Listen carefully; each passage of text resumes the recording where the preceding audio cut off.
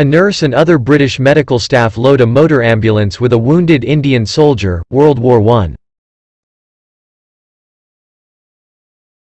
Jewish German soldiers holding a Yom Kippur, Day of Atonement, service during, 1914–1918. A German soldier and an Austro-Hungarian officer in a trench near Halych on the Eastern Front, 1915–1917. A sergeant of the Lancashire Fusiliers poses for a photograph in a flooded trench near Ploegsteert Wood, Flanders, in Belgium, January 1917.